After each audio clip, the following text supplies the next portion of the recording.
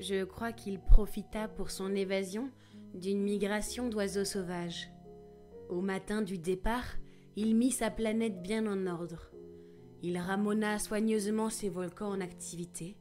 Il possédait deux volcans en activité et c'était bien commode pour faire chauffer le petit déjeuner du matin. Il possédait aussi un volcan éteint. Mais comme il disait, on ne sait jamais. Il ramona donc également le volcan éteint.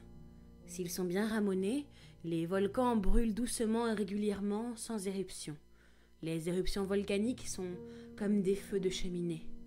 Évidemment, sur notre Terre, nous sommes beaucoup trop petits pour ramoner nos volcans, c'est pourquoi ils nous causent des tas d'ennuis. Le petit prince arracha aussi avec un peu de mélancolie les dernières pousses de baobab. Il croyait ne jamais devoir revenir. Mais tous ces travaux familiers lui parurent ce matin-là extrêmement doux. Et quand il arrosa une dernière fois la fleur et se prépara à la mettre à l'abri sous son globe, il se découvrit l'envie de pleurer.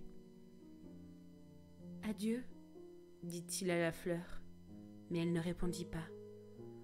Adieu, répéta-t-il. La fleur toussa, mais ce n'était pas à cause de son rhume. J'ai été sotte, lui dit-elle enfin. Je te demande pardon. Tâche d'être heureux. Il fut surpris par l'absence de reproche. Il restait là, tout déconcerté, le globe en l'air. Il ne comprenait pas cette douceur calme. Mais oui, je t'aime, lui dit la fleur. Tu n'en as rien su par ma faute. Cela n'a aucune importance.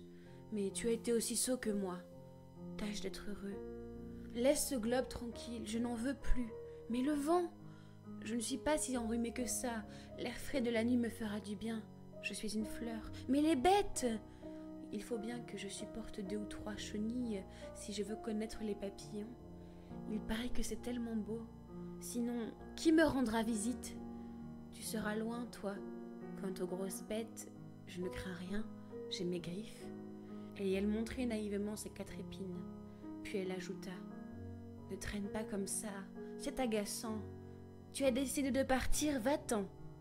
Car elle ne voulait pas qu'il la vît pleurer. C'était une fleur tellement orgueilleuse.